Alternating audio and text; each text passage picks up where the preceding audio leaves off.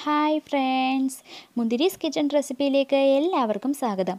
എല്ലാവരും സുഖമായിരിക്കുന്നുവല്ലോ ഇന്ന് നമുക്ക് ചെറുപയറിലെയും ദാലും കൊണ്ടുള്ള ഒരു കറി നോക്കാം. അപ്പോൾ നമ്മുടെ വീഡിയോയിലേക്ക് കടക്കുന്നതിന് മുമ്പ് നമ്മുടെ ചാനൽ സബ്സ്ക്രൈബ് ചെയ്യാത്തവരുണ്ടെങ്കിൽ ഒന്ന് സബ്സ്ക്രൈബ് ചെയ്യുക. തൊട്ടടുത്തുള്ള ബെല്ലൈക്കൺ കൂടി ഒന്ന് പ്രസ് ചെയ്യുക.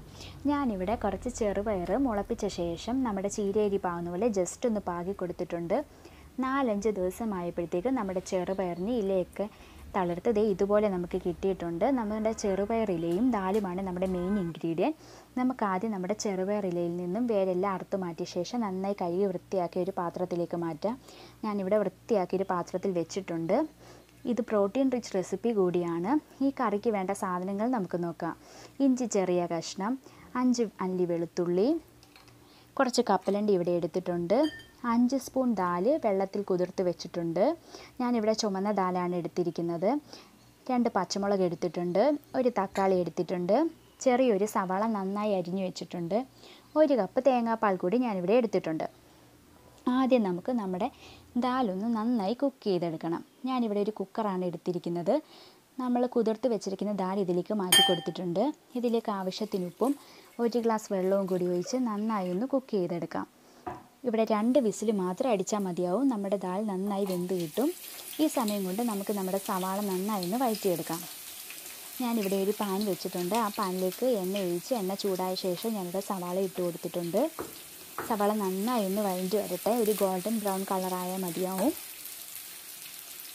ഞാനിവിടെ രണ്ട് ടീസ്പൂൺ എണ്ണ മാത്രമേ യൂസ് ചെയ്തിട്ടുള്ളൂ. ഒരുപാട് എണ്ണയൊന്നും നമുക്കിവിടെ ആവശ്യമില്ല. അപ്പോൾ നമ്മുടെ സവാള നന്നായി ഒന്ന് വഴഞ്ഞു വരുമ്പോഴേക്കും നമുക്ക് നമ്മുടെ ഇഞ്ചി വെളുത്തുള്ളി പച്ചമുളക് കൂടി ചേർത്ത് കൊടുക്കാം. ഏകദേശം നമ്മുടെ സവാള ഇവിടെ നന്നായി വഴഞ്ഞു വന്നിട്ടുണ്ട്. ഇതിലേക്ക് ഇഞ്ചിയും വെളുത്തുള്ളിയും പച്ചമുളകും കൂടി ചേർത്ത് കൊടുക്കാം. ഞാനിവിടെ രണ്ട് പച്ചമുളക് മാത്രമേ എടുത്തിട്ടുള്ളൂ. എരിവനുസരിച്ച് ചേർക്കാവുന്നതാണ്. നമ്മളിവിടെ മുളക് പൊടി ഒന്നും യൂസ് ചെയ്യുന്നില്ല. അതുകൊണ്ട് പച്ചമുളകിന്റെ എണ്ണം കൂട്ടുകയോ കുറയ്ക്കുകയോ ചെയ്യാം. ഇനി നമുക്ക് ചെറുപയറിന്റെ ഇല കൂടി ചേർത്ത് കൊടുക്കാം. ഞാനിവിടെ ചെറുപയറിന്റെ ഇല നന്നായിട്ട് കട്ട് ചെയ്തെടുത്തിട്ടുണ്ട്. അതുകൂടി ചേർത്ത് നന്നായി ഒന്ന് മിക്സ് ചെയ്ത് കൊടുക്കാം. പെട്ടെന്ന് തന്നെ ഇല വാടി കിട്ടും. അതുകൊണ്ട് നമുക്ക് നന്നായി ഒന്ന് മിക്സ് ചെയ്ത് കൊടുക്കാം. അപ്പോൾ സവാളയും വെളുത്തുള്ളി ഇഞ്ചിയും പച്ചമുളകും ഇലയും എല്ലാം കൂടി നന്നായി ഒന്ന് മിക്സായി വരട്ടെ. നന്നായി ഒന്ന് മിക്സായി നന്നായിട്ടൊന്ന് പാടി വരുമ്പോഴത്തേക്ക് നമുക്ക് നമ്മൾ എടുത്ത് വെച്ചിരിക്കുന്ന തക്കാളി കൂടി ചേർത്ത് കൊടുക്കാം. ഞാനിവിടെ വലിയ തക്കാളി ആയത് കാരണം ഒരെണ്ണം മാത്രമേ ചേർത്തിട്ടുള്ളൂ. ചെറിയ തക്കാളി ആണെങ്കിൽ രണ്ടെണ്ണം ചേർക്കാവുന്നതാണ്.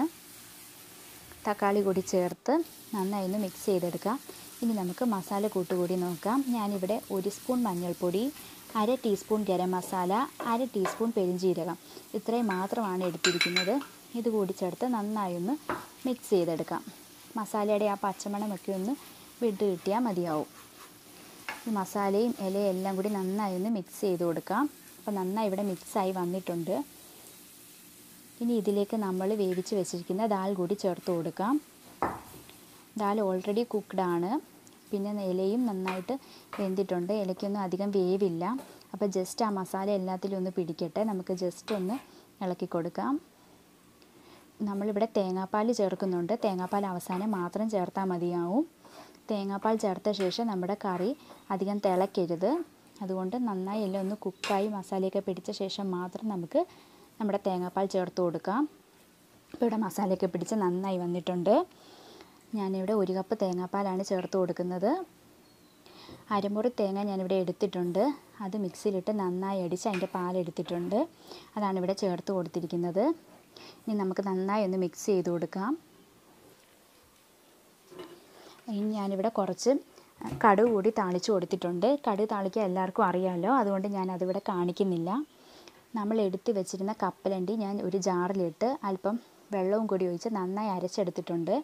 അതുകൂടി ഞാനിവിടെ ചേർത്ത് കൊടുക്കുന്നുണ്ട്. അതുകൂടി ചേർത്ത് നമുക്ക് നന്നായി ഒന്ന് മിക്സ് ചെയ്തെടുക്കാം. കപ്പലണ്ടി ലാസ്റ്റ് മാത്രം ചേർത്താൽ മതിയാവും.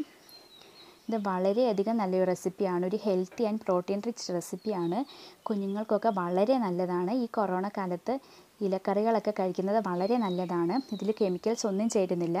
നമ്മൾ നമ്മുടെ വീട്ടിൽ തന്നെ കിളിപ്പിച്ചെടുത്ത പയർ ചെടിയാണ് അതുകൊണ്ട് ചെറുപയർ വളരെയധികം നല്ലതാണ്. പ്രോട്ടീൻ ഡിഷാണ്. അതുകൊണ്ട് കുട്ടികൾക്കൊക്കെ വളരെ നല്ലതാണ്. എല്ലാവരും ഇത് ട്രൈ ചെയ്ത് നോക്കണം. അപ്പത്തിന്റെ കൂടെയും ചപ്പാത്തിയുടെ കൂടെയൊക്കെ വളരെ നല്ലൊരു റെസിപ്പിയാണ്. അപ്പം ഞാനിവിടെ രണ്ട് ചപ്പാത്തി എടുത്തിട്ടുണ്ട്. അതിന്റെ കൂടെ ഒരു കപ്പ് കട്ടൻ ചായ എടുത്തിട്ടുണ്ട്. ഞാനിതൊന്ന് ടേസ്റ്റ് നോ ചെയ്ത് നോക്കട്ടെ.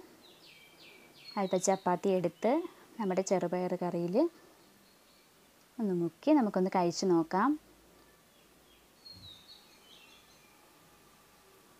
വളരെ ടേസ്റ്റി ആയൊരു റെസിപ്പിയാണ് എല്ലാവരും ട്രൈ ചെയ്ത് നോക്കണം. ഒപ്പം എന്റെ ചാനൽ സബ്സ്ക്രൈബ് ചെയ്യണം. അപ്പോൾ ബൈ ബൈ